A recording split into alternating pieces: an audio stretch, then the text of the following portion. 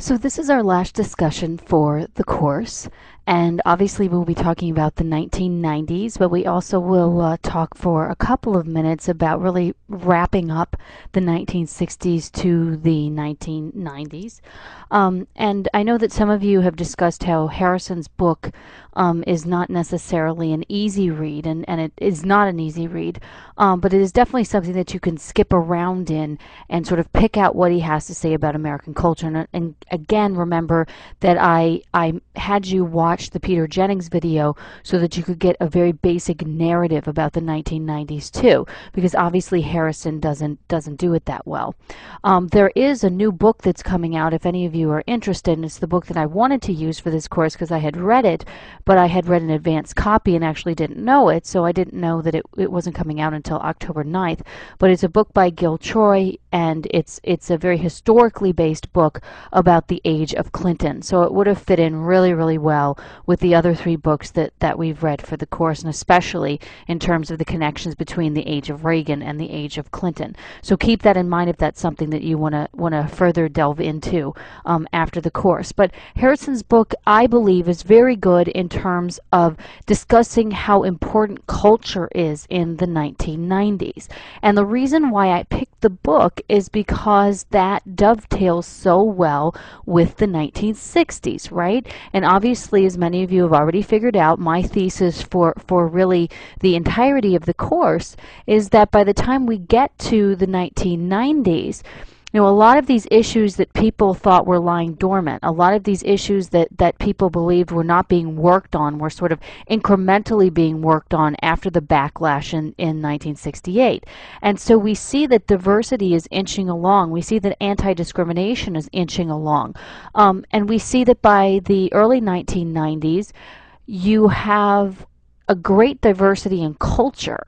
And even though we see with the LA riots that obviously uh, racial inequity is is uh, hasn't been taken care of, um, we certainly understand that there are a great deal of racial tension. So all of those things are, are underlying. And that's probably one of the reasons why we would have wanted many of these issues out in the open so we could have continued to work on them out in the open, and particularly in mainstream society. But the recognition here for the 1990s is that even though we have these racial issues that are going on, even though we have gender issues that will be going on as well, by the time you move into the 1990s, American culture is really multicultural, right? It's not this mainstream sort of white society that, that we had seen in the early 1950s, the mid 1950s, the mid, uh, the late 1950s rather, and then as we moved into the 1960s, this idea of that somewhat changing. So maybe the dream of the 1960s didn't work in the 1960s, but by the time we get to the 1990s, a good chunk of that dream has been fulfilled, at least in my eyes. Now, once again, I will add the caveat that racial issues are clearly still there. They're still there in the 1990s. They're still there in in uh, um, the early 2000s, and they're certainly still around now. But we can certainly see that there's a vast difference between 1955 and 1995. And so that's what I'm trying to push here because I don't believe in a post-racial society. I don't believe in a post-gender society either. Um, I really believe that, that we have a lot more to work on. But we can certainly see historically that there's a vast change between what we were talking about at the beginning of this course and what we're talking talking about at the end of the course. So if you're sort of searching around for Harrison's thesis, um, in terms of the 1990s, I certainly believe that it's on page three, and it's about this idea of heterogeneity. So the idea of, of America being diverse, there being great diversity in culture, diversity in society, and that things are obviously quite different than they were in the 1950s. And so that's what Harrison is arguing, that there's a heterogeneity about American society and American culture by the time we're in the 1990s. Diversity diversity, diversity, diversity. And so that's really what he's trying to prove with his book. And his book, again, is very much based in culture, so it's going to be talking a lot about movies and literature going to be talking about music a lot the way that I do, uh, but he doesn't have that background. Um, he doesn't talk a lot about politics. Um, he doesn't talk a, a, lot about what's going on economically. That's somewhat peppered in there as long as it connects to culture, right? So let's talk about one of the things that he discusses in the introduction of the book, which are the four main narratives that he sees in terms of the 1990s. Now, these would be the narratives not not put out there by historians, um, but by a variety variety of scholars and also in terms of how the American public views the 1990s. I personally, as a historian, would see all of these narratives fitting together. Um, so I think you could, uh, if you were going to try and make some sort of a thesis yourself for the 1990s, I think you could fit all of these issues together. Um, the first main narrative he talks about are the Clinton years. So that's a very political narrative, right? So political history. Um, the Clinton years are a very interesting time because there's a great deal of hope at the beginning of the Clinton years. And then by the time we get to the end of the Clinton years, Clinton has, has really um, created a situation for himself that makes a lot of people look back to the time of Watergate. Um, and they stop trusting Bill Clinton, even though he had huge approval ratings before um, the Lewinsky scandal actually broke. So the Clinton years are, are very interesting in that if we're talking about they're, they're, it's multifaceted if you're talking about politics because again we, we've talked about you know the age of Reagan and we've talked about um, George Herbert Walker Bush's presidency being somewhat linked to the age of Reagan. I will often counter that because, again, I see them as being two vastly different types of Republicans, but you can see some continuity there, right? But we see this huge about face when we see Bill Clinton come in. And so you can obviously talk about political changes, and we've talked about, you know, moving from liberalism to conservatism and back to liberalism and then back to conservatism. And that's certainly a, a political narrative in terms of uh, the late 20th century. Uh, but you can also see the Clinton years as, again, sort of a culmination of the 1960s in terms of sort of the hopes of liberalism, and then Bill Clinton being able to make some of those things happen and also not be able to make many other things happen, uh, particularly, say, gays in the military, because of the fact that he's a Washington outsider and really doesn't know how to step into Washington and be a very strong political player. Now, he learns the game quite fast, but it takes him a, a little while while to understand, you know, what is it that I, what, what envelopes can I push here? Um, and so it takes him a little bit to figure that out. And it takes him, I think, a longer period of time to figure out that he can't just order the American public to accept something and they'll do so. Um, even though he had high approval ratings, even though uh, um, he considered himself to be a popular choice, uh, for, for many Americans, they just because they liked him and just because they voted him as, in as president doesn't necessarily mean that they were going to accept everything that he said. And also Clinton was not someone who was who was popular across the board. There there were not a lot of Republicans who were going to be crossing party lines to vote for Bill Clinton at least in 1992. It's very different in 1996, but in 1992 it's a little different. So you can see multiple narratives running here. You can see the scandal narrative that's going to run in here too. So the Clinton years I would suggest is is a um, a facet of the narrative of the 1990s. Another facet would be significant economic expansion. Um, there, the economic expansion and the economy somewhat wax and wane throughout the 1990s, but we definitely see a surge in the, uh, uh, I would say around 93, 94. Um, and then you certainly see a surge in the American economy during the late 1990s, especially around 97, 98, when information technology is taking off. And people make a bundle of money in the stock market but the stock market then plummets after they they make that bundle of money. So we've talked a lot about the cyclical nature of uh, the economy. I would suggest that the 1990s the economy really goes it starts down trends up trends back down, trends up again, and then somewhat plummets. So it's definitely something that, that for the American public, it would be a significant um, narrative for them because especially in 1992 when the unemployment rate was high and they believed that George Herbert Walker Bush could have done something for them in terms of the economy, in terms of getting their jobs back, in terms of maybe even being able to uh, recapture middle class status if they've fallen below uh, um, the middle class.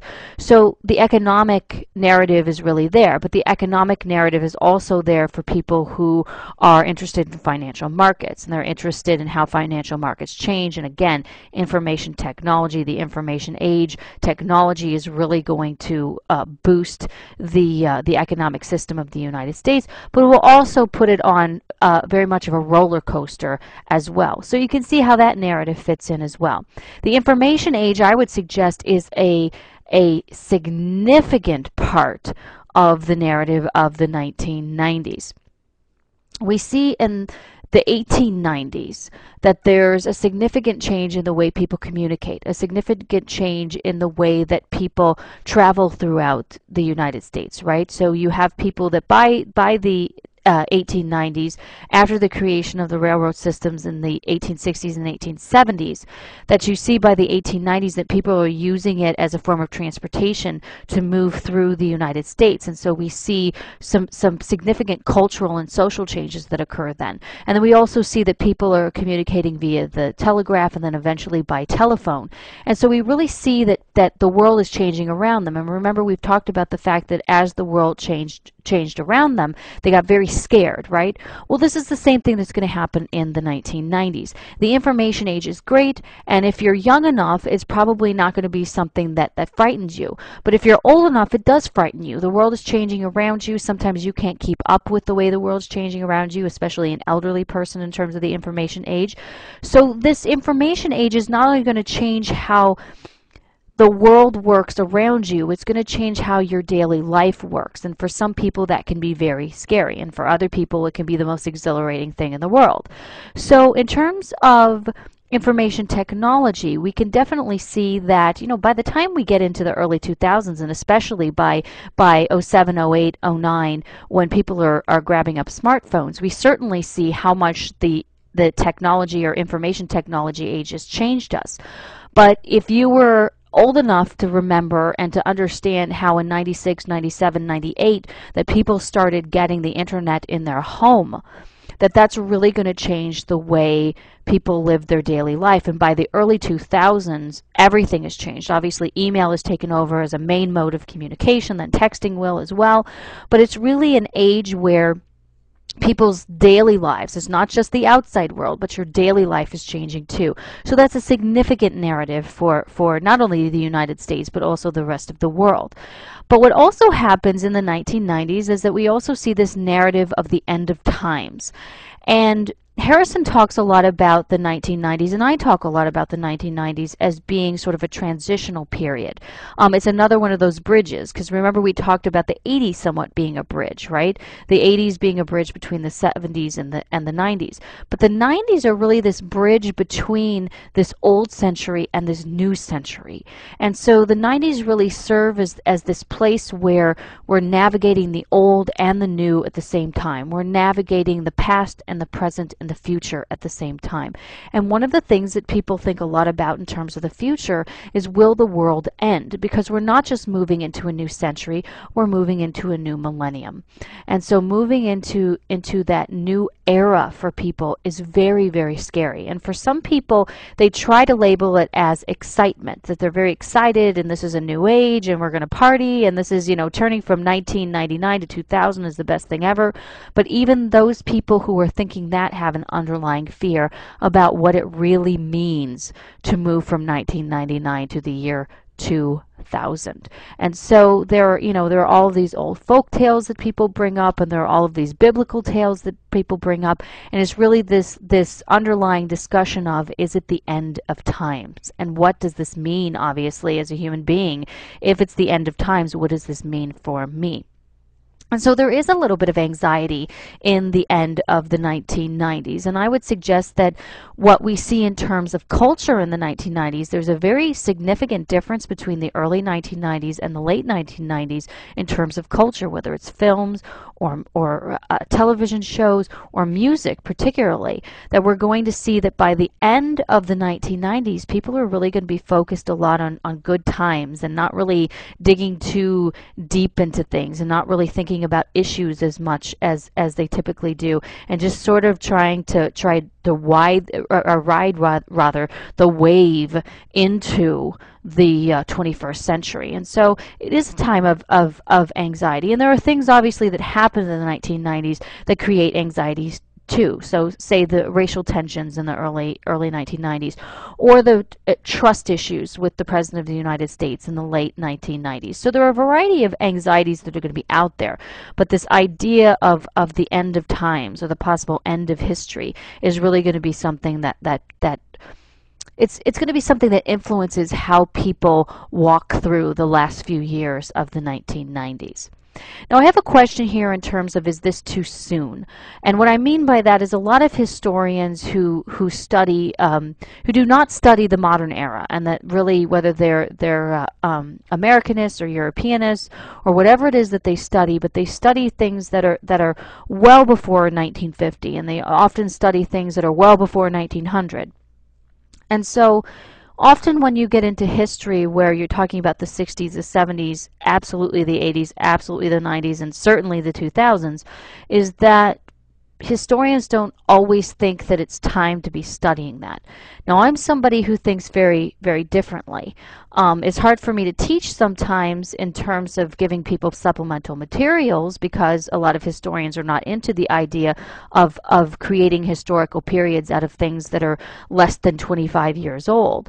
But for me, it really helps for whether you're a historian, if you're a student, if you're just a, a plain old American that wants to understand the history of the country, if you're not talking about the recent past, then you're not really going to understand the present, right?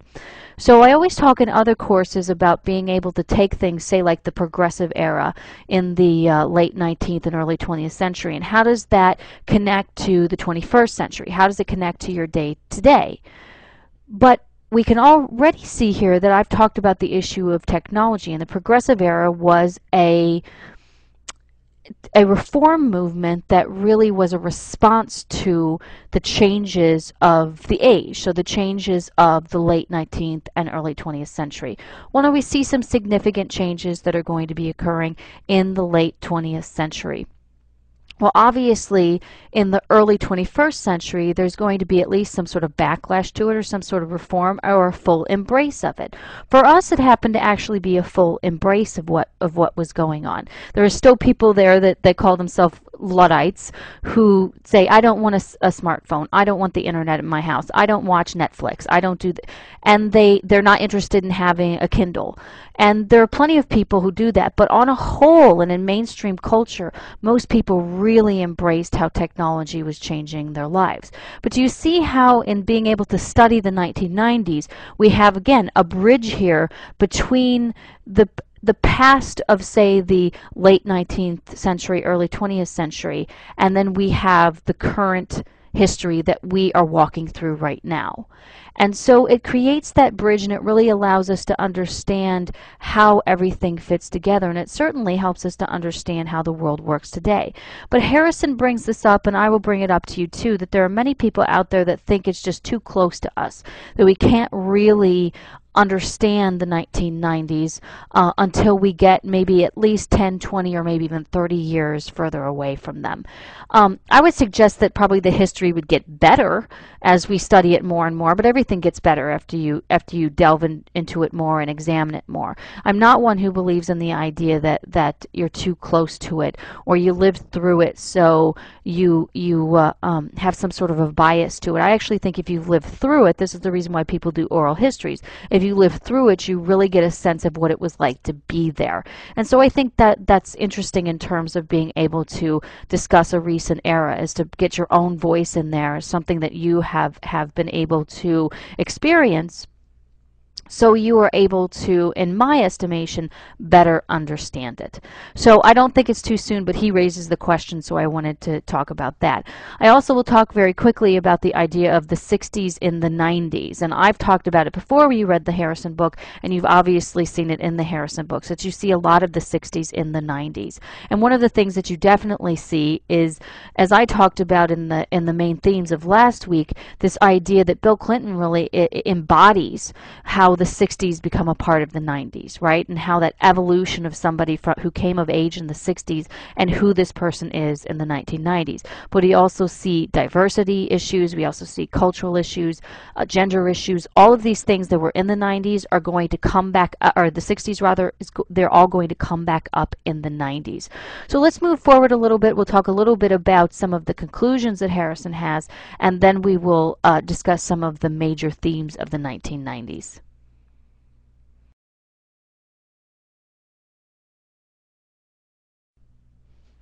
So in Harrison's concluding chapter, he talks a great deal about what he sees as, as what the culmination is of, of the 1990s. What do the 1990s mean, right? And uh, I have the points that he lists in the book here on the slide, but I'm going to add a little bit to them as well as as we move through them, just to sort of simply illustrate, you know, that that that there are many different ways that you can see the 1990s and I want you to you to understand how Harrison sees them and to understand how I see them but you also need to be able to create for yourself your understanding of the 1990s and especially the importance of the 1990s and how the 1990s will fit in with the other decades that we've talked about and that obviously will help you in terms of your final assignment. So Harrison does talk about the same thing that I had talked about in the previous slide about the impending millennium creating fear. Uh, he also suggests that the new millennium will create a desire for repetition. So, wanting to go back in time, wanting to be able to do the same things over and over and over again, and to really have that comfort of knowing, you know, how life is going to be, or maybe reliving something from the past. This nostalgia, and I talk about nostalgia in terms of uh, um, my little essay that I did for uh, uh movies for this week. Um, that there really is an emphasis on the past and sort of reliving things. And one way that people want to relive things is to be able to remember so they can remember um, their country's importance. So, as a, as a person living in the United States, as a, as a citizen of the United States, how important the United States was between 1900 and 2000, right? The so called American century. So, there's a desire for that type of repetition, particularly nostalgia. Um, and nostalgia is comfort, right? As, as long as it's it's uh, good stuff that you're remembering, it's comfort. And and uh, obviously, human beings also have an immense capacity for um, finding nostalgia even the, in the most negative things, right? So that desire for repetition clearly has to has for most Americans at this point in time. I won't talk about about other countries or other people around the world, but I would suggest that for Americans, the idea of repetition is to remind themselves of how important the United States has been because the United States is hanging on, on this edge here, right? It's, it's become the lone superpower in the world by the 1990s. Um, and it's really this concern of what's next, you know? Is it up or is it down? Is it status quo? What is it? What's going to happen? And so this need for repetition is not only human based, it's also based in being an American who's sort of hanging on the edge of this American century. He also discusses the issue of hybridity and the idea that, that sort of putting things together, putting the old with the new, right? Putting the old old century with the new century, the old millennium with the new millennium, and really creating a, a hybrid world for yourself where you can step from one place to another. And I think that's a, extremely human way of looking at things, right? It's a way of calming yourself, a way of seeing the the future and being able to walk toward it while holding on to that past. And I think that's extremely important. Now he has some closing points, meaning so sort of the where where is the stopping point in terms of not just the 20th century. I mean, he talks. I don't think he necessarily talks about it in terms of the larger 20th century. It's more about where do the 90s stop. Um, and for him, the 90s you could see it in three different points, right? The World Trade Organization protests in Seattle in 1999, the 2000 election, or maybe the hubbub around the election, and then 9 11. Now, I'm not going to discuss these points too much. I would suggest that the World Trade Organization protests are probably not a a signal that the 1990s are over or the 20th century is over. They really didn't change much, and on top of that, they really were not that big of a deal. They were kind of a blip on the screen. And I think he might have been coming from his own bias in terms of that, and in terms of wanting those those uh, WTO protests to be a little bit more important than they were. The 2000 election, I think, is important, and for those of you who are politically minded, you can absolutely use this in terms of, of just the change in guard again, right? So we're flipping and flopping back and forth as Americans in terms of which party is in the White House, and here we flip to another one again. And so we have, and, and this is going to be a long era, just like the Clinton era. So the Bush era really is going to to signify what particularly the 2000s mean for the United States. And so you could see that as a breaking point. You could also see that as a breaking point in terms terms of how the election was contested. And so how there's there's sort of a break in terms of the electoral process where people become even more apathetic in terms of, of the political process. And so that could be as well. And then 9-11 for many people really, I mean, if the 1990s weren't over with the 2000 election, they're over by September 11th, 2001. Um, and I probably would suggest that for myself, this would be my argument that um, you don't, even though there's a change in guard in 2000, you don't really see any any super significant cultural changes or social changes immediately. But man, by the time you hit 9/11, not only is it just a watershed moment for humanity and, and, and for the international community, but it's going to change the way the world and the United States operates in this post 9 11 world, right? So it's a very different world on September 12th than it was on September 11th early in the morning. And so I think that if you look at 9 11 as this breaking point, as it closing off the 1990s, that it really even closes off that century. Um, and that we move into a very different world um, and we move into a world that is, is defined very much by 9-11, especially in terms of, of warfare. So I, I think that for the world and for the United States and also for humanity, it's a, it's a very special and important moment. Um, and it's a devastating moment, but it also has um, significant reverberations, both negative and positive, um, throughout the world. So again, I want you to, you know, these are my talking points, and I can I can talk about them, and I can tell you how I see them fit into the narrative. But what is it that you see in terms of how the 1990s end? How does how do how do we move from away from the 60s through the 90s? What stops this period, this contemporary period that, that we've been talking about? So what not only what what stops the 1990s, but what is it that closes off the 60s to the 90s for you? And I think that's extremely important to recognize that we're really talking about these very particular decades, and we talk about how the 60s start, and we reach back just a little bit into the uh, into the 50s to kind of explain it and understand it and contextualize it. Well, what about the 90s? Like, what do we need to contextualize the 90s in terms of the 2000s? Where do you see all of this this breaking up? And again, how do you find the 60s through the 90s important for the present day. So I just want you to be able to see your own way through this in terms of the 90s and many of you lived through through this that you were aware of what was going on as you lived lived through these these issues and you can have your own personal history come into play here as well.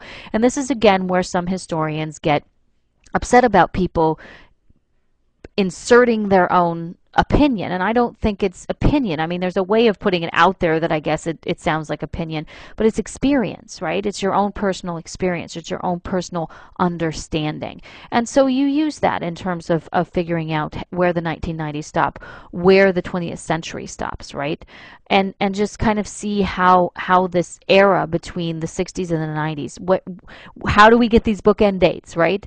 How do we get where's the start of the 60s where's the end of the 90s and and and you guys obviously have gone through the course to recognize where all of these decades begin and end.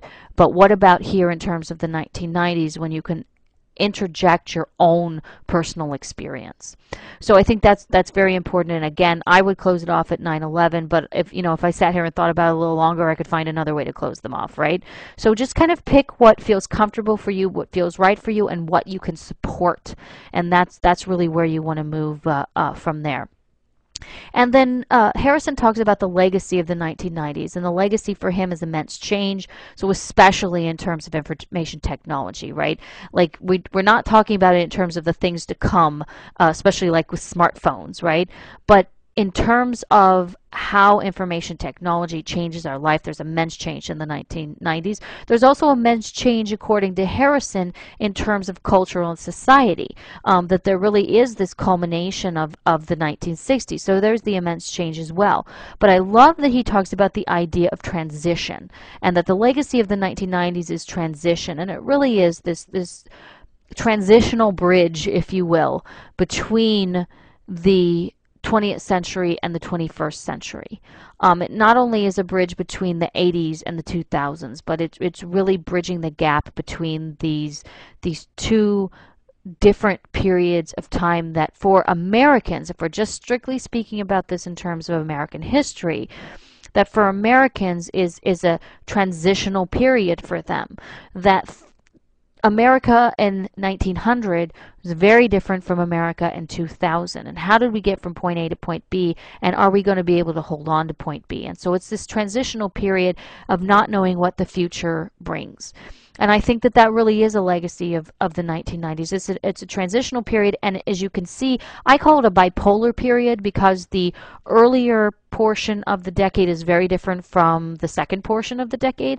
And I find I lived through the 90s, as many of you did, and I, you know, I was of age in the in the 1990s, as some of you were, and I just kind of look at it as a very odd period of time. It was a very interesting period of time, but it was very different from anything I had experienced in my life thus far. And it was also very different from anything that I had read about in terms of history. Um, and the closest thing I can come to in terms of transitional periods, in terms of the, the 1990s, would be the 1890s. And you can really see that there's again that bridge that's going on between two different significant eras. It's the same thing that you see in the 1990s. So I think that uh, the 90s are kind of, you know, they're they're very different. They're very odd, and they're very um, so many things happen within the 1990s that in the moment seem so important, and then by the time we moved into the 2000s, they weren't important at all. Like the thing that was most important was information technology. Um, but many of the political issues that occurred really weren't all that important. You know, the Lewinsky scandal was not nearly as important as the Watergate scandal. Um, obviously, the change in guard between the Democrats and the Republicans was a big deal, but we don't know how somebody like Bill Clinton or Al Gore, who would have been the, the, the president by the time we got to uh, September 11th, we don't know how, how he would have reacted to September 11th. Um, and in the moment, maybe he would have reacted in the very same way that, that uh, uh, uh, George W. Bush had reacted, um, particularly in terms of the war on terror. We don't know, so I can't necessarily say that I that in terms of of this period that I see a huge difference in terms of politics, right? We obviously see the difference in terms of policy, but what I mean is that you don't really see any of the things happening that happened in the 90s really being of significant effect in the 2000s except for international terrorism. So I think that it's it's extremely interesting to look at the 1990s and to see that there were a lot of, of things that people were really focused on and obsessed with in the 90s that really didn't amount to anything in the 2000s. So I think that's interesting as well. So that's the wrap up here of what Harrison talks about, especially his introduction and his conclusion. So now let's move along and talk about some of the main points and the main themes of the 1990s.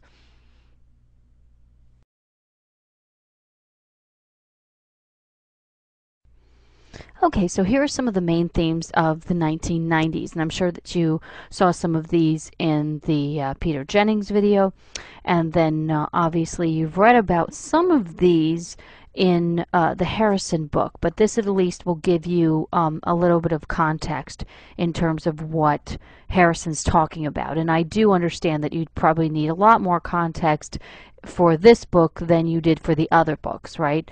Um, because he just doesn't. He's not. A, he's not historically minded, right? He's not looking at things in terms of giving context. He's just trying to prove very particular points about culture.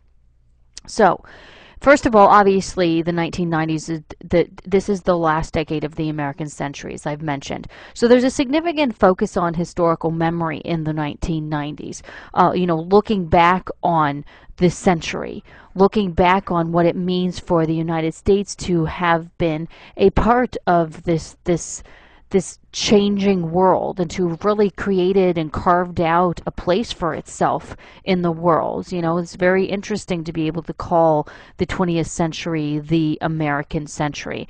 And so in the 1990s, there's this significant focus on looking back. And I mentioned nostalgia, right?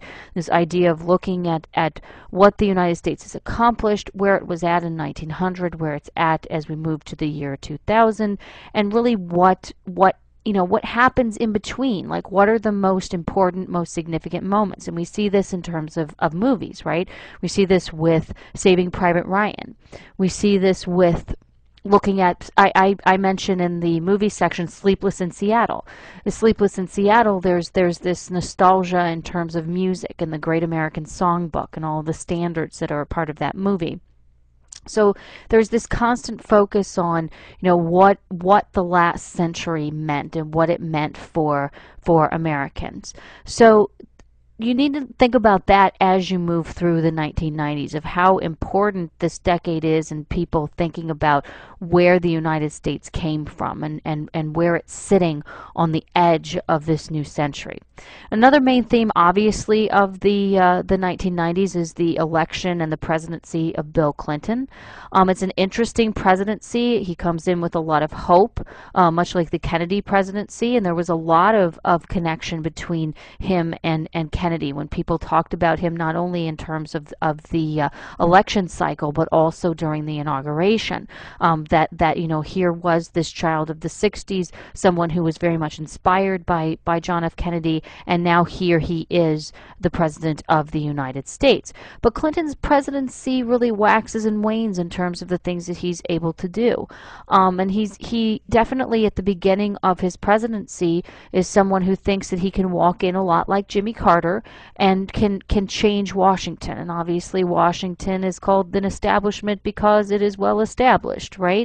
It is something that is um, very difficult to change, and people become upset uh, within Washington if you walk in, and especially you've been a governor, not even not even a member of Congress.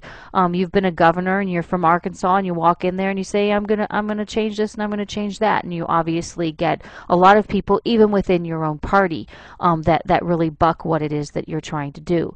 So he has issues with with don't ask, don't tell, which is the discussion of you know know, he wants gays in the military, and what he ends up with is don't ask, don't tell. So basically, nothing really changes other than the fact that as lo- you can be gay in the military as long as you're not open about it. And if people find out about it, then you're kicked out. So it really was not much of a much of a, a victory for for Clinton. Um, also, his his uh, Health Care Act. Um, he created a committee, and, and Hillary Clinton sat on the committee, um, and it was to create uh, affordable health care for the United States, um, for the populace of the United States, and to uh, um, to have government subs- subsidies for um, the insurance and to create for people a universal health care plan in the United States. And it fails miserably. The, the committee itself fails. And then obviously, it's not something that anyone works on until you get to the Obama administration but it was there. But Clinton had multiple failures policy wise at the beginning of his term. One of the things that he doesn't fail on is foreign policy. Now, often he does have issues with humanitarian efforts, um, but he is somebody who is a very good diplomat. Um, he is somebody who's able to create treaties and trade agreements, and, and uh, NAFTA is one of the shining moments of, of his uh, first presidency. So he's definitely someone who is able to um, have a few wins uh, and and to be able to put those in his column. Um, but he really the, the, his first his first term is, is quite iffy, and his second term is going to be even even more iffy. Uh, what's interesting is that uh, Clinton's Clinton's poll numbers um, had gone down significantly um, in 1994 and early 1995. In 1994 is when you have the Republican Revolution, which is when, and this is historically something that happens anyway when there's a change in guard in terms of the uh, the presidency, um, is that typically the opposite uh, side of the uh, the aisle uh, takes the midterm elections. It's something that, that typically happens, but it really was something that the bowled Clinton Clinton over. Um, he had really thought that he had, you know, popularity in the can, right? And he really was somebody who, who thought that that transferred to his party. Um, and the Republican Revolution was really a backlash to um, the first years of his presidency. But in April of 1995, there's the Oklahoma City bombing. And the Oklahoma City bombing, obviously an act of domestic terrorism. And Clinton, it really is one of his shining moments. He goes down to Oklahoma City. Um, he attends memorial services. Um, he is able to be empathetic and sympathetic uh, toward the uh, uh, the people who were involved in the bombing, particularly the parents of the children who were killed in the bombing. He makes some wonderfully eloquent speeches um, that are carried on national television, and his poll numbers go through the roof. And this is something that obviously we want as Americans, as somebody who can lead us um, in a time of, of tragedy or in a time of significant conflict, right? And for Clinton, it's the tragedy aspect. And so his poll numbers really go up, and it really helps him in terms of the uh, um, the next election and, and winning his uh, his second term. And as as uh, I mentioned in our overview, um, he's able to win even uh, seriously conservative states like Arizona um, in terms of the popular vote. Um, and so he he is able to, in a very short period of time, really really raise his poll numbers. But then, after um, he's in the White House in his second term for about a year, the Lewinsky scandal comes up. And obviously, the Win- Lewinsky scandal eventually fades away and fades into the background. Um, it's something that for a, a long period of time, a full year, um, there's a consistent focus on the uh, possible impeachment and then the actual impeachment of the president, um, and would he be acquitted of of uh, um, would he be acquitted of the things that he was uh, um, the, the, things that were levied against him? What number one being perjury? Um, and so for clinton it really is an era where he's he's sitting here in his second presidency. He thought that because of the immense popular vote that he got, um, the fact that he had won over some conservative states, he thought that he was going to be able to walk into this second term and just really have at it, right? You know, he's got four years under his belt. It's going to be a period of time when he he has significant political capital, and he squanders a bit of it in the first in the first year. Um, but once the Lewinsky, Lewinsky scandal rather breaks, it is it is you know all out warfare on the president. You know, should he be kept in office? Should he be impeached? After he's impeached, will he be acquitted, or or is he going to be convicted? And if he's convicted, obviously that's the removal of the president. And the removal of the president, obviously, would be the first time in the nation's history where you would have the removal of a sitting president. Because remember, with Richard Nixon, he he he decided that he saw the handwriting on the wall and he really, before there was even the vote for impeachment, he walked away. He resigned because he knew the vote, votes were there for impeachment. And once the impeachment was was in place, he knew that he he was going to be convicted of the charges against him. So he walked away. Uh, Andrew Jackson, back in 1868, did not walk away. Uh, he was impeached, but he was acquitted of the charges against him too. So for Clinton, I mean, it really initially was a crapshoot for him as to whether or not he was going to be acquitted of the charges. And then, you know, the scuttlebutt became that that there were n- numerous Republicans who were not significantly conservative, who were moderate uh, moderate uh, Republicans, who did not want to see the removal of a, of a sitting president and didn't believe that the charges that were brought against him really were high crimes and misdemeanors. Um, and so in the Senate, he was acquitted because even though the initial impeachment charges were, you know, high crimes and misdemeanors, there really was this significant discussion of did he really perjure himself? And if any of you have seen the tapes from the the deposition that that he did, where all of these perjury charges stem from. Um, he really is a, a, master of language or so, and also of, of sort of wiggling out of things. And this is where we get that, that joke that people always talk about. Well, you, you have to what what's the what's the definition of is right? Um, and so for for him, it really is this this period of time where, again, like I said, it's a crapshoot for him, but it's a period of time where he really decides to take the risk of, you know, sort of being what, what people have um, somewhat affectionately for some and, and for others, they obviously really dislike the term. Um, he gets called Slick Willie because he's somebody who is always, you know, we talked about the Teflon president of Ronald Reagan, but Slick Willie is the guy who can sort of, you know, worm himself out of, of whatever problems that that uh, that he's facing. So you know this idea of it depends upon what the definition of is is, and so uh, for him, it all comes down to semantics, right? It all comes down to you being able to pin something on him. Well, I, you know, I don't, I don't see your the truth that you see is not the truth that I see, and so he's very good at, at really talking his way out of things. And in terms of the perjury charges after his impeachment, um, there are many senators, including Republican senators, who say that is what he did in the deposition is not perjury, and he didn't perjure himself. And many of them also, there are some who who suggest that later on, in later years after after the actual acquittal, that really come out there and say, you know, he he might have been he, he very well might have been strictly guilty in terms of the issue of, of perjury, and we allowed him to sort of wiggle out of it.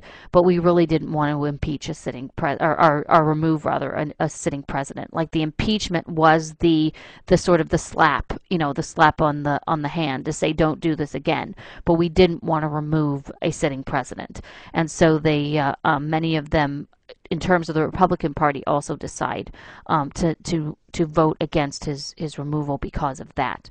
So there's that in terms of what I have here on the screen, the downfall of Bill Clinton. That's the downfall of Bill Clinton, right?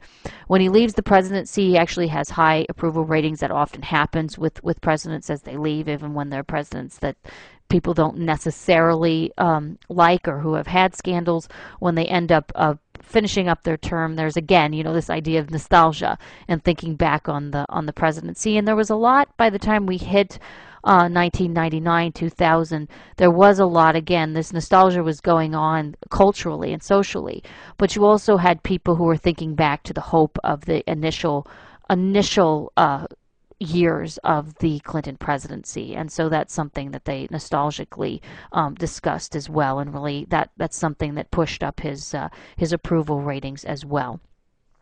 Okay, also a main theme of the uh, the 1990s would be race, and another one would be gender. Um, your book talks a little bit about the idea of identity politics, um, and identity politics obviously being that that you know political issues become much more um, focused on race, focused on gender, focused on sexual orientation, and things like that. Um, and so it's bantied about this this particular term um, often in, in, a in a negative uh, sense. But there are a lot of identity politics that are going on in, in the 1990s, um, and we have racial and gender issues that, again, as we've mentioned before, a lot of these are things that are that are being worked on incrementally, like discrimination in the workplace, as we talked about in the in the 70s and the 80s. But we also know that there are still a lot of of uh, uh, disparities and inequities in terms of uh, economics, um, not just in terms of gender, so the wage gap between men and women, but also in terms of race, right? That not every person who is African American benefits from anti-discrimination laws. They don't always benefit from the uh, um, the uh, uh, quotas that are at um, higher education institutions. Um, they don't always benefit from these things that they supposedly benefit from all the time, right? You have to actually have the ability to go to college. You have to have gone to, you know, the right school to go to college. Um, you have to have the um, the financial uh, ability to at least make the choice to go to college. You could get a scholarship, but you always have to have that backing, right? So not every African American um, not every Mexican American is going to be able to make these choices. So you have significant inequities in terms of, of uh, secondary education. You have significant inequ- inequities in terms of uh, whether or not parents can pay or you can pay to go to college or even go to community college, right? So not everyone is going to benefit from anti-discrimination laws or not everybody's going to benefit from racial quotas. Um, that's just not going to be something that, that, you know, college might not even be on uh, certain uh, minorities their radar. It's just not going to be there. Um, this is a socioeconomic issue as well as a racial issue, but it's something that, that's there, right? So a lot of these inequities that, that occur um, are really going to be the things that you know all all of the issues that have come up in the 60s and the 70s and the 80s and all of the leveling out that supposedly is taking place that it illustrates you know how deep these issues are. Because even with acts of trying to level things out things can't be 100% leveled out and nothing can be perfect right? And so in terms of the 1990s we really see with the same issues that we are discussing today police brutality issues or uh, police discrimination against African Americans. And this is something that happens in the early uh, 1990s with the uh, beating of Rodney King, who you see here on the screen. Um, and somebody actually was filming uh, this beating, and the, uh, um, the officers who were uh, involved in this were identified and they were put on trial for it and they were acquitted in the spring of 1992. And when they were acquitted, there were significant riots throughout Los Angeles. And so the LA riots illustrated to Americans that the racial issues that they had pretended had gone away were really still all there. They just didn't actually focus on them all the time, or they actually weren't connected to them in any way. They didn't hear about them. They didn't live the same um, life. They didn't live in the same communities as African Americans. And so they didn't see all of the same things that African Americans did. They didn't have to make the same choices that African Americans did, or Mexican Americans, or Asian Americans, or even women in low low socioeconomic status, regardless of their of their uh, their race or ethnicity. So the LA riots really pointed to that um, and really illustrated to America that, that racial issues may have gotten better, as I've talked about, vastly different from the 1960s to the 1990s, but the things still needed to be worked on. And these incremental changes that we had made, and we had sort of swept things under the rug. And like I mentioned, you know, we have these underlying currents in terms of people working on these issues to make incremental changes. It really illustrates to people that maybe we need to work a little bit harder. And this is where I get this idea of, of the culmination of things that happened, uh, things that were brought up in the 1960s in terms of race and gender and even sexual orientation, and those things being somewhat hammered out in the 1990s because the LA riots bring everything to the forefront again.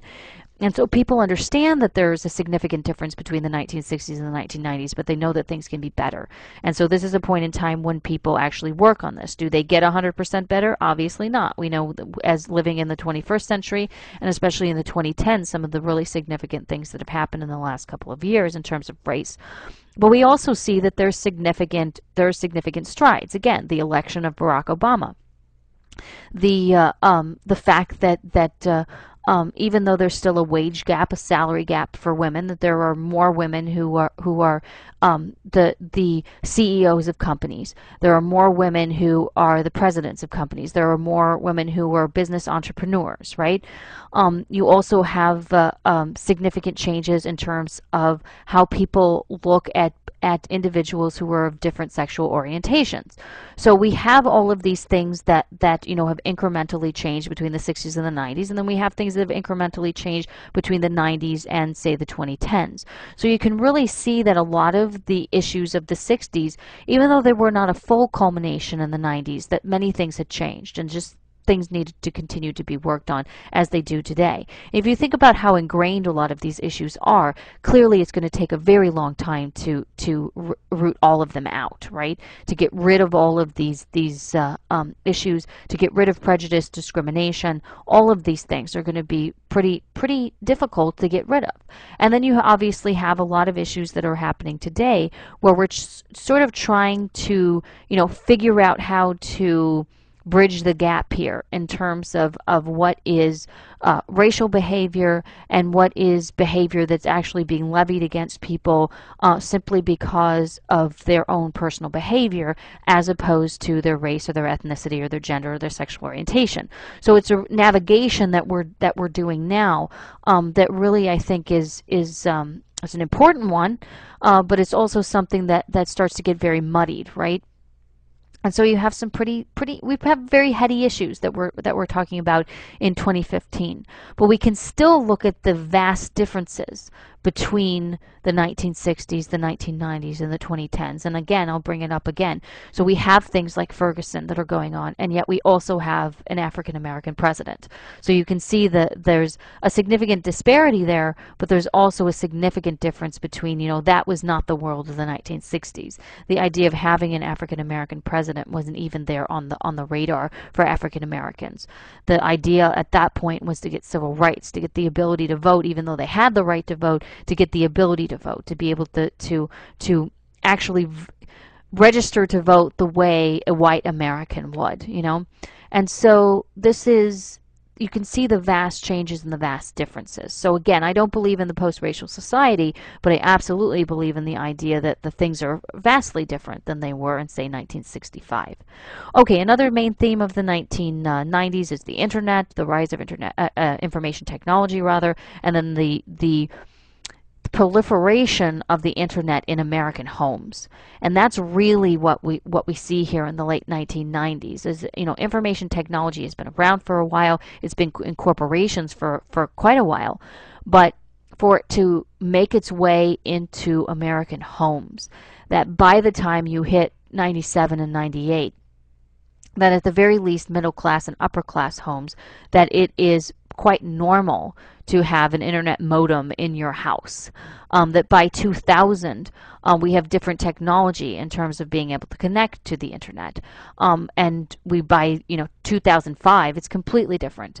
Um, you have between the late 1990s and say 2005 that the uh, the ability to have internet in your home has become uh, something that, that almost anyone can have uh, because it becomes such a such a, a economical thing to have in your home. It costs a lot more money in 1997 to have it in your home than it did in does say in 2015. Also in terms of, of computers, it costs a lot less money to have a computer in your home now than it did in 1997. So there are some economic differences in terms of being able to allow everyone to have some form of access to, to the internet and some form of access to information technology. But my point here is that in the late 1990s, there were a good chunk of Americans, especially in the middle class, who gained access to the internet. And that's how our communication processes changed. That's how eventually we started people people actually started using the World Wide Web in order to to get news, um, to to figure out what was going on with the stock market, with weather, um, using email all of the time, starting to use chat rooms. Like these are things that that we think of today. Even some of the ways that people did this were quite primitive in the late 1990s. But it is the start of this complete revolution in terms of how we communicate with each other, how we communicate with the world, how we deal with the world, how we shop, um, you know, how we learn. Uh, everything is different now, right? So obviously this is something that, that bubbles up in the late 1990s. Uh, we also have globalization and globalism. Um, so the idea of, of globalizing um, the, the world, creating one very particular, I know that sounds like an oxymoron, or I guess not an oxymoron, but like the same thing, right? But globalization, globalizing the world, really is this idea of creating, you know, one particular uh, universal culture, one particular universal economic system, right? So it's like internationalism. And so the idea here is to create a global community that is interconnected with, with itself. So say between the United States and say say Germany that there's this interconnectedness in terms of our economics in terms of our ability to communicate with with each other in terms of culture in terms of I would say particularly capitalism right? Because capitalism is what's going to spread especially in in Germany especially in East Germany after the fall of the Berlin Wall after a lot more relaxation of any sort of tensions in the 1990s and the reunification of Germany. This is when you're going to see capitalism really really go full force into Germany. And this is going to be how, you know, how do the rest of the countries in the world become a part of the international economy? Well, they connect themselves to the United States. So the idea of globalization is that the United States would be the global leader of an economy, of politics, and then also of a very, very general global culture that is pretty much based in American culture, but it is one very universal culture. And we see that. It's not that we've seen the wiping away of, of other cultures, but other cult other uh, countries in the world, their culture has really somewhat depleted in terms of mainstream culture and everyday life.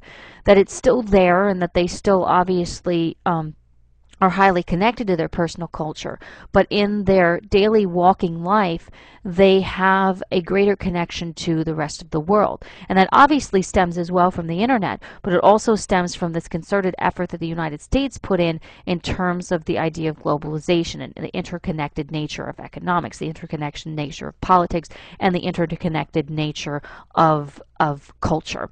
And so, uh, um, if you travel, if you travel abroad, you can really see that there are two different cultures that are operating, two two sort of mainstream cultures that are operating at the same time. There's the country's mainstream culture and then there's the global culture that's operating within the country. And I think it's very interesting and I know there are very very many people who are against it. I'm not necessarily against it unless it, it completely destroys the individual cultures of people because obviously those are extremely important things and they should not only should there not be like the world should not be universally American, um, but people have their own religious traditions, their own cultural traditions, their holiday traditions, their familial traditions. And so those are things that are obviously very sacred.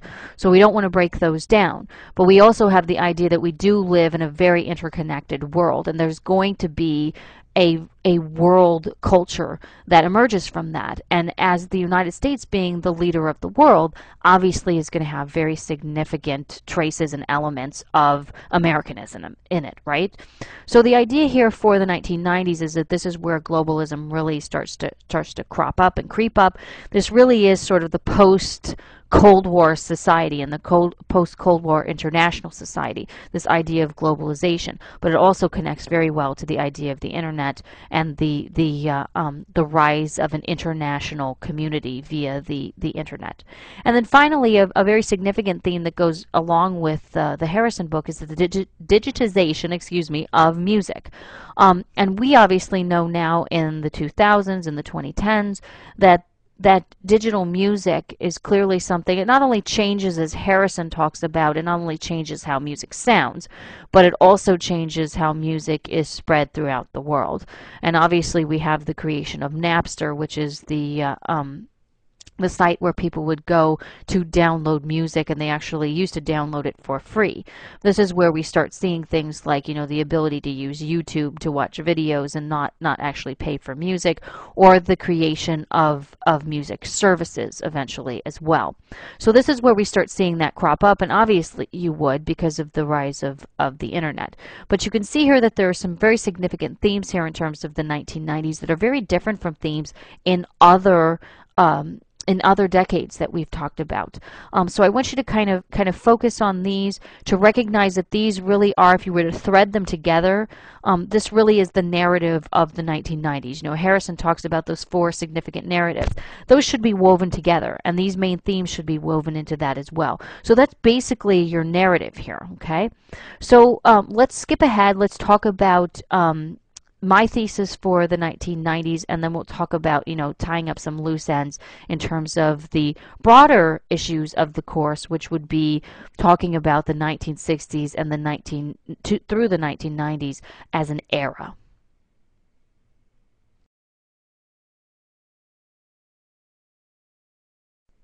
So here's my thesis for the 1990s. The bridge of the 1980s, which we've talked about in terms of, of, you know, trying to bridge the 70s to the 90s, the bridge of the 1980s led to a decade that in many ways fulfilled some of the hopes of the 1960s.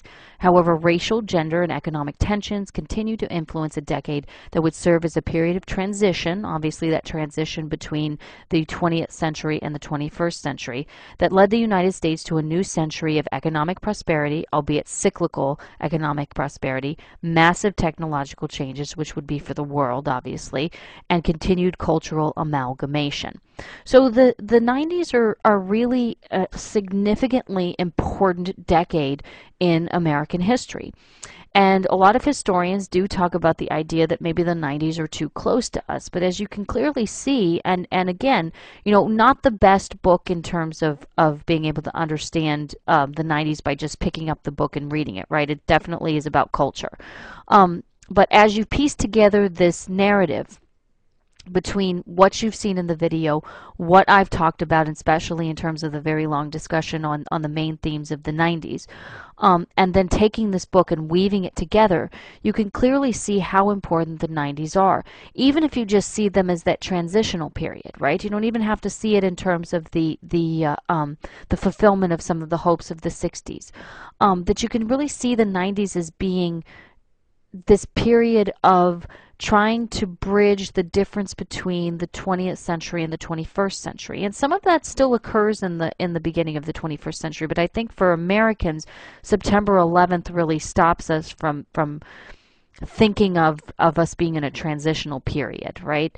That we that we just you know go full steam ahead in the United States, um, and so it's it's something that that really this is why I kind of see September 11th and 2001 is really that, that bookend of the of the uh, 90s. That you really can see that that things change then. That we aren't thinking about the same things that say we were, you know, in in August of 2001.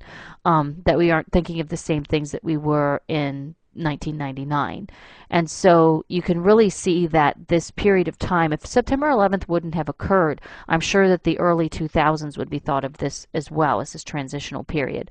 But because it did for Americans, it really changes the course of their of their history and how we actually discuss history. And so you can really see the 1990s as stopping there, or transition rather, as stopping there. So the 90s really are this transitional period between, you know, the old and the new, the past and the future, and that being the present that's really, really creating for people in the 1990s this this bridge, this this transitional bridge to walk across into this new and and and very scary um, century that they're moving into not the decade but the century something so different and supposedly so. And you you know we we very rarely even though we celebrate each year and we move into the next year often many of us are like yeah it's a new year okay? You know like the calendar's changing but what's really changing but in terms of centuries, and especially in terms of the millennium, humans do think in terms of the calendar in that sense. Like we're moving to this new this new era. And so moving from that old era for Americans in terms of the American century and then what's there on the other side, right? Is is America going to uh, maintain its status? Um, are we going to fall? You know, is the quote unquote empire going to fall? Um, and so that's scary for Americans. And you can think about it when you're studying other uh, countries' histories. You can see how they deal with this as well. And on a human level, again, you have that millennium fear, right? That idea that as we move into this new era, um, that it's really going to be something that that is is scary for people who have biblical understandings of the world or who believe in folklore about the end of the world that there that there's going to be significant fear about that. But you can really see between centuries and then again the millennium you can really see that human beings really really can can sort of see a change, right? They understand the change. Very much very different in terms of the calendar year changing. Very different from, you know, the end of this year when we move into 2016. You know, oh, we moved into 2016. But when people move from 99 to 2000, they recognize that that century difference, they recognize the difference in the millennium. And so it really is an era for, and again, I'll focus specifically on Americans here, considering we're doing contemporary America. It's such an important transitional period because of the fact that the 1900s were so stunningly important for the United States. And so I think that's really what the 1990s are about for the United States, about for United States history, right? Is this idea of transition, some fulfillment of hope, um, many things that still need to change, but transitional in terms of bridging the gap between these two centuries and then moving toward, you know, here we have the beginnings of massive technological changes and we have the continuation of cultural amalgamation. So we have all of these things that, that there's significant change, as Harrison talks about, but there's also this, this idea of, of of trying to connect between the old and the new. And I think that's really, really important in terms of the 90s. So again, as I mentioned, many historians think, you know, we, it, we're too close to it. We're too close to it you can clearly see that we're at the very least far enough away from it to recognize its transitional properties, right? That the 90s have significant transitional properties here. They have significant transitional elements, and they really are what bring us from that old century into the new and are able to, in the new century, connect ourselves back to the, the old century. And so it's a very important period of time. So now we're going to move on and our last slide here we're going to talk about some of the connections that maybe you can make for yourself in terms of the course material um, and some connections that I kind of want to throw out there for you in terms of, of how to view this era between the 60s and the 90s.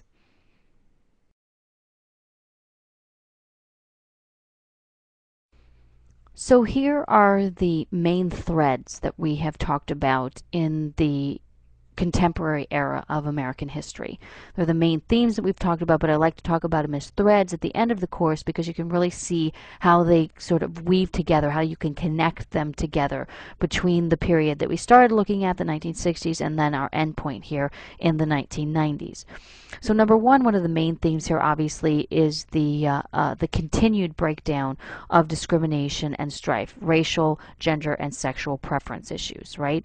Again, not perfect by by uh, um, the 1990s, and not even perfect by today's standards. But we can see that breakdown, right? We can see the difference between how things were in terms of discrimination in the 1960s for all three of these issues versus how discrimination is in the 1990s or go back to opportunities in terms of women.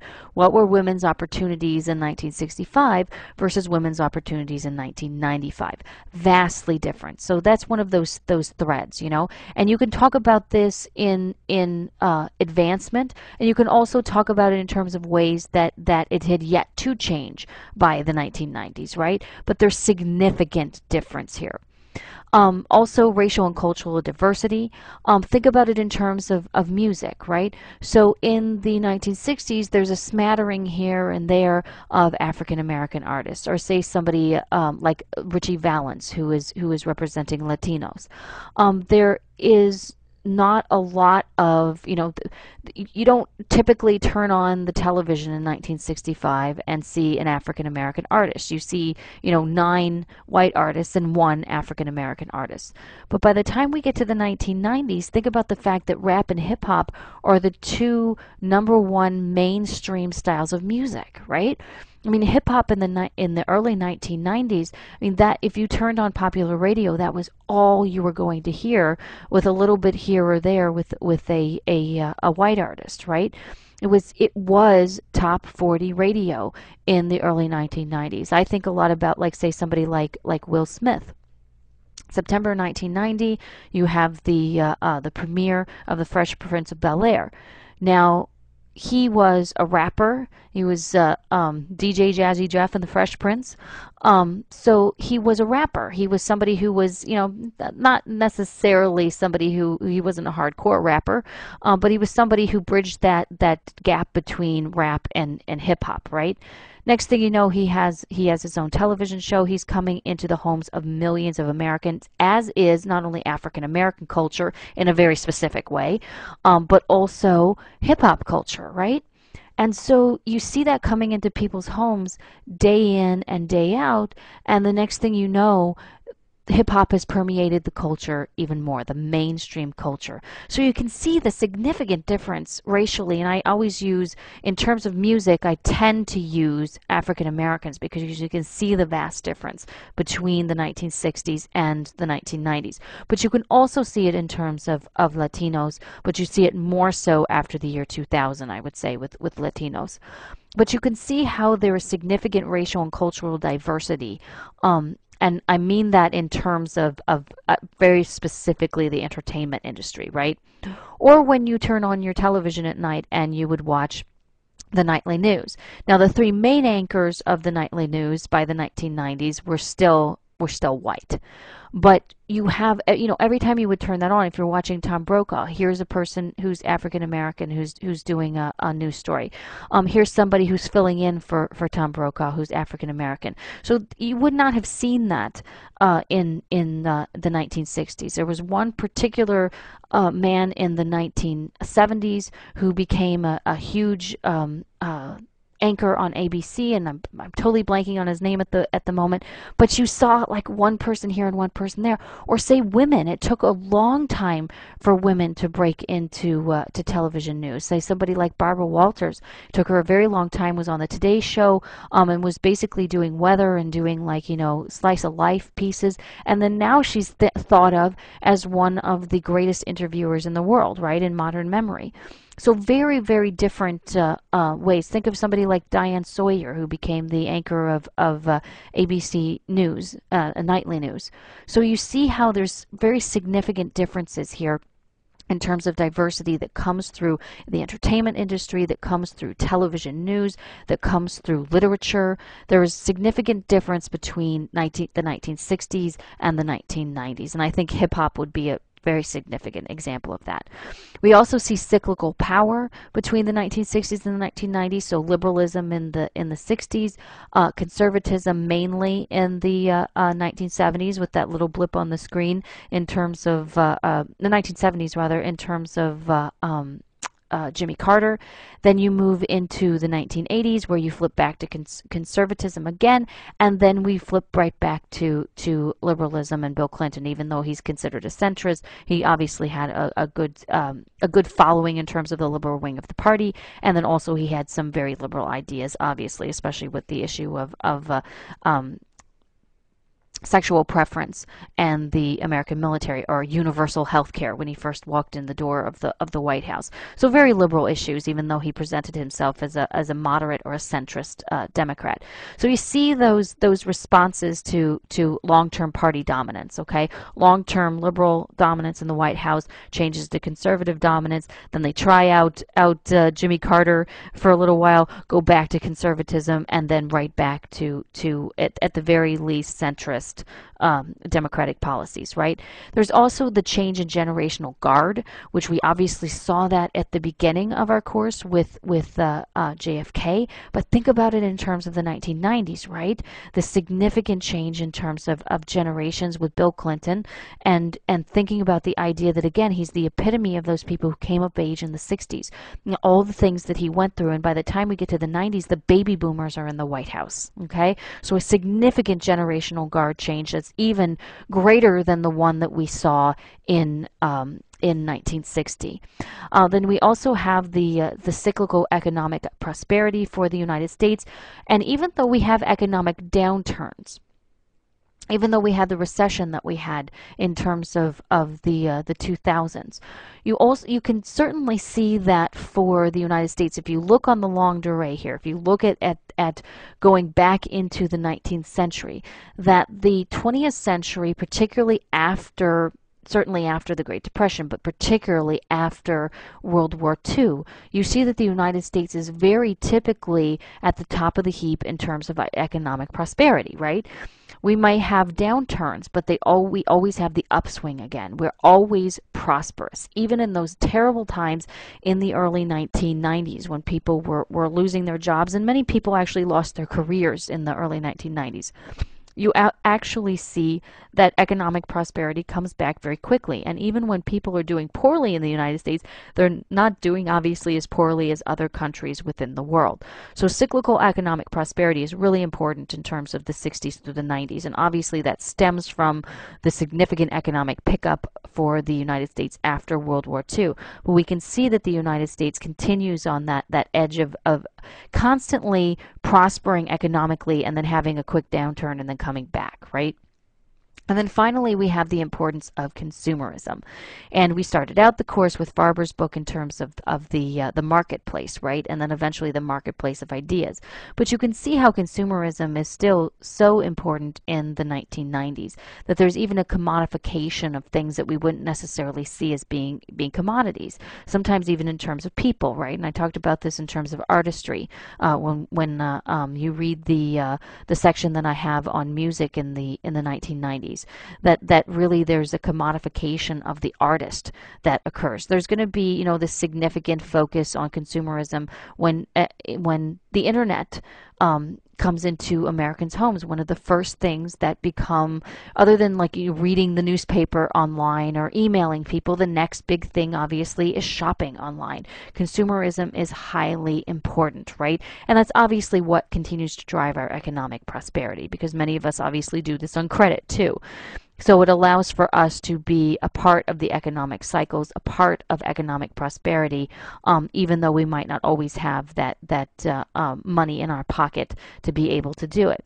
So you can really see again, this is a significant theme. I bring up credit cards; it's a significant theme of the 1960s, right? So I want you. There's obviously many, many more of these that we could talk about, but I want you to kind of be able to to recognize these as the base basic ones, and then you guys can can really um, connect to the other issues that you've seen because many of us see other things in the works that we've read, right? Many of you might have picked on more political issues, many of you may have picked up on more social issues. Some of you maybe even picked up on psychological issues throughout.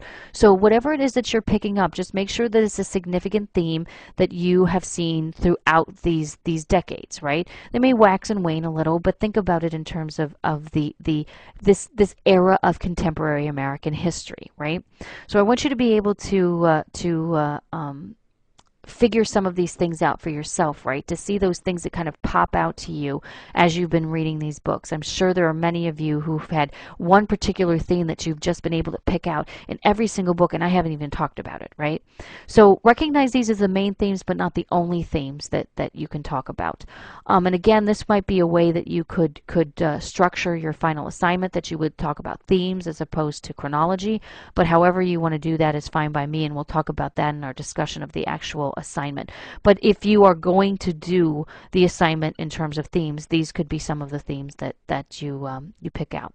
So many of you obviously are wondering why I have this somewhat creepy picture of Bill Clinton here. This is actually his Twitter picture. Um, but I just kind of like see him looking at me going, I feel your pain, you know? So I think it's a really, really uh, funny picture. Um, but I wanted you to kind of, you know, recognize Bill Clinton as being sort of the icon of this era that we've talked about. You know, really kind of be able to see his life as being this this stretching from what his life was in the 1960s and then stretching it along to the 1990s. And it really is this this story of, you know, someone who came of age and then by the in the 60s and then by the time he gets to the 1990s decides to whether you you like the guy or not decides to in many ways give back. Um, even though he uh, um, gained a great deal from being president, especially in terms of his ego, he absolutely gave back. And this was something that is a part of the baby boomer generation, right?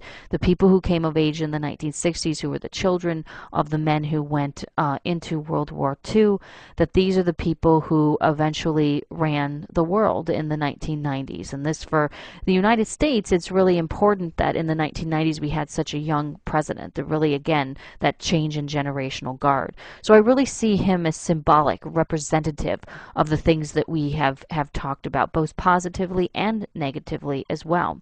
Um, so this is basically the end of our course, right? Um, and I want you guys to be able to, as you move into your final assignment, your final essay for me, to really be able to see that there are so many different threads between these decades. And there's a reason why contemporary America obviously ends in terms of the 1990s, right? We could have stretched it into the 2000s and we could have stretched it certainly to 2001.